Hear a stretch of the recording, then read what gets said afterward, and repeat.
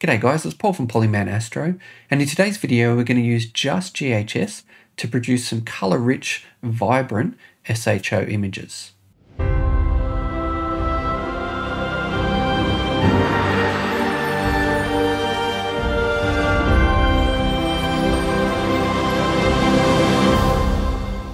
So the data we're going to be working with is my data on Gabriela Mistral, which is a nebula just off of Eta Carina.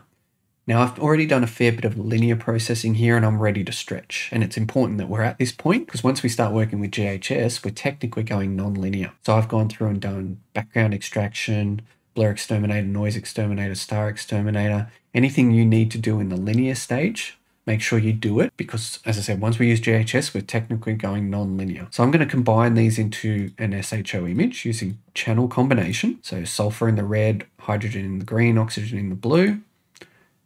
And then I'm going to rename that SHO, so just so I can keep track of this window in case I lose it somewhere. Let's have a look at it. We can see it looks largely green at the moment because hydrogen's dominating. Uh, but there is a slight cast to the color in the background as well, which we're going to see in the GHS histogram and explain why that's there and, and how to fix it. Okay, so let's open up GHS and we'll reset it. And what I need to do, because it's linear, the, the histogram's currently on the left here, is zoom in so I can see my histograms. So the reason that there's a background cast is that these histograms aren't lined up with each other. So the background is basically anything to the left of the histogram up to the peak. So for red, the left of the histogram here up to about the peak, the blue up to about the peak here, and green and so on. The reason there's a slight bluey kind of greeny cast is because the blue and the green histograms, the left-hand edges of them, are further forward of, of the red.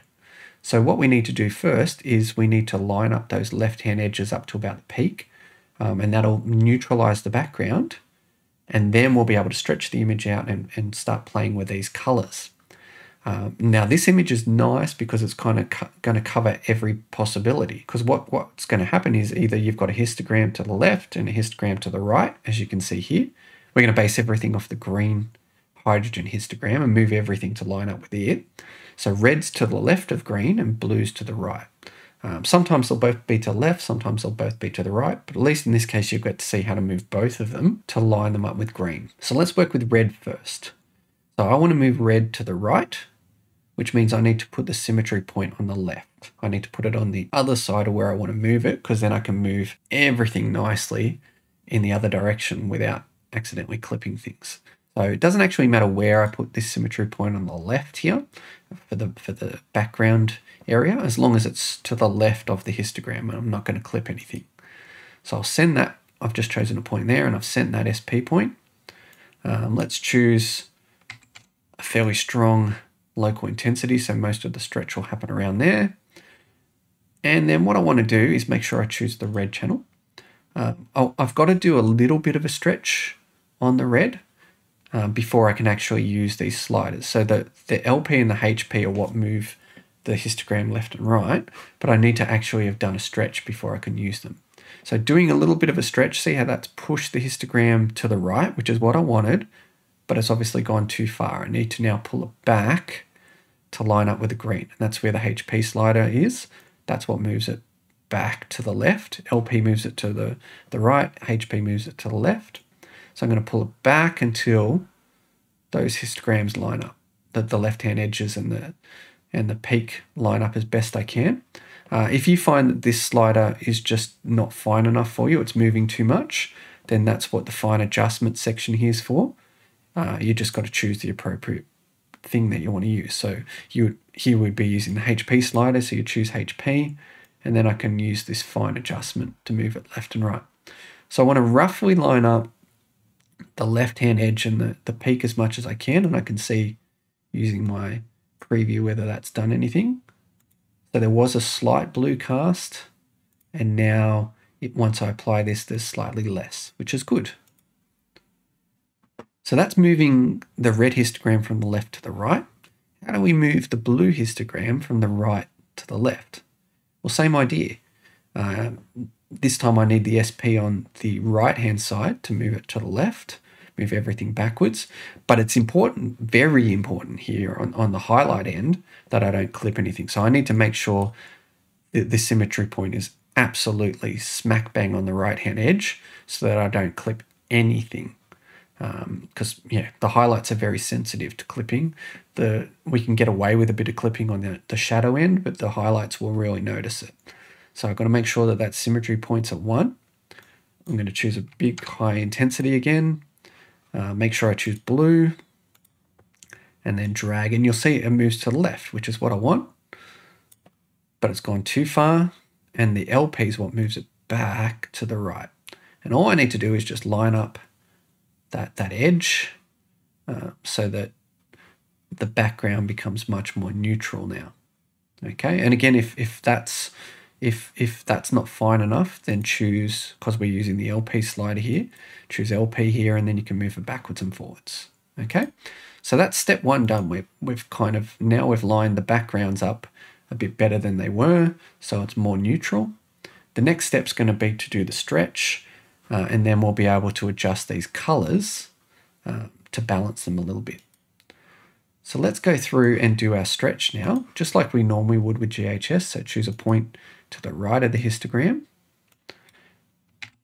We'll choose a fairly decent uh, B value for our first stretch. I can turn off the screen transfer function so I can see what the stretch is going to look like. And I want to pull this out till it looks kind of where I want things to, to be. That looks quite nice.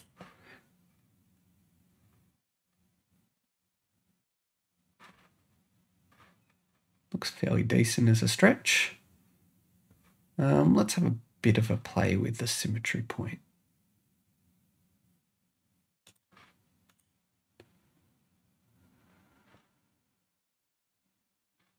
What about if we move it back here more? Yeah, I think I like that a bit better. All right, so that's probably a good first stretch.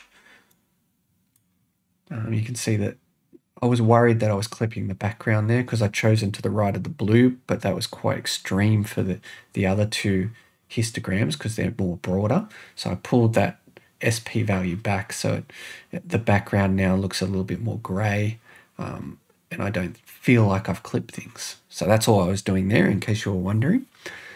So let's reset this. So now I've done a stretch.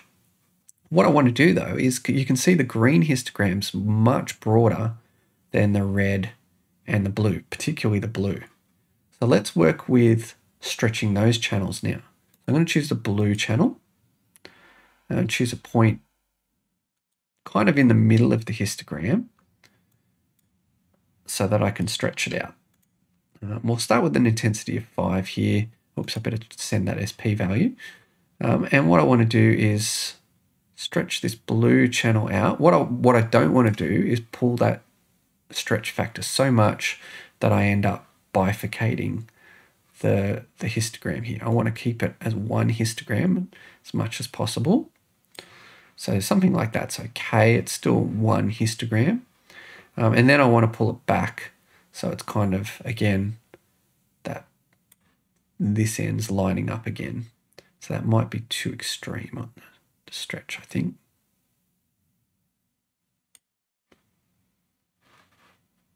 Um, all right, so let's have a bit of a play with the, the SP value here and see what we can what we can do. So what I'm trying to do is kind of keep one nice, fairly uniform histogram. That's important with GHS. Probably, probably use LP here to move it because I want that background to stay kind of neutral. So there we go. We've, we've introduced some more blue into the image compared to what we had. So now we better work on the red, the red histogram. Um, and I want to stretch this out. So I want to, what I want to do is kind of drop, see how it, my red is already bifurcated uh, the way the data's worked on, on this, probably because the, the, the sulfur is so weak. Um, so there is a bifurcation here. So if I choose the SP point right on that point there, um, then when I do my stretch, what it's going to do is pull that point down. And the reason that that hump's there is because there's a lot of red in just that luminance, um, which basically means there's a lack of contrast um, because most of the, the data is in this small brightness value. So if I can drag that down, then I'm going to improve the contrast. And we'll see that hopefully in a second. So if I drag this down, then it's kind of turning into one peak now. We've still got this little hump here, but at least it's turned kind of into one hump. But obviously I need to drag this back to kind of line up with where I want. Um, and now we can play with that SP value again. Uh, I didn't actually apply that SP value, did I? Whoops, there we go. that made a difference. Um, so we'll do, do our stretch um, to kind of make that a more uniform hump. And now I better drag it back this direction. And look at that. So we've already got some reds starting to appear in our image, which is nice.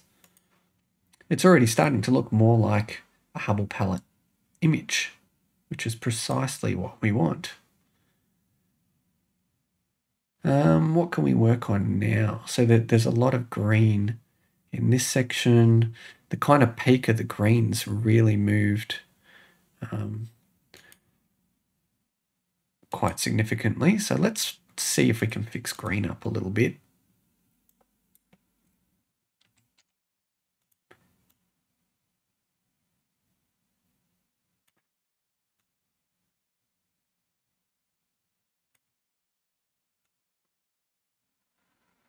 See, I'm kind of trying, what I'm trying to do is kind of get the, the kind of intensity level equal for the whole, whole three histograms here. So I think that's made quite a drastic difference. Um, it's kind of brightened up the, the interior here, but we might be able to fix that in a minute. Um, but you can already see the colors, the Hubble palette, that made a, a big difference in terms of where we were. So we were there and now we're here. We've got much more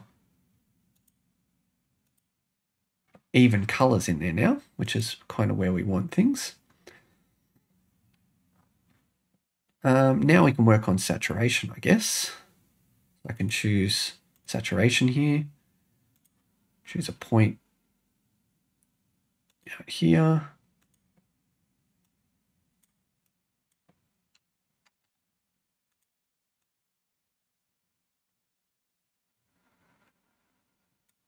Go. Look at that.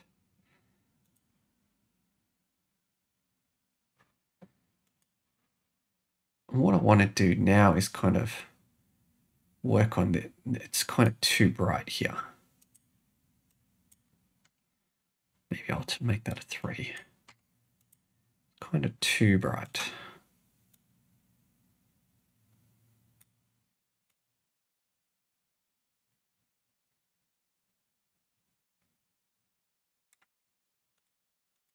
So that's tamed it down just a little bit, I think. There we go. So that's looking pretty much now, I think, like a, a nice kind of Hubble palette image that we're expecting to, to see.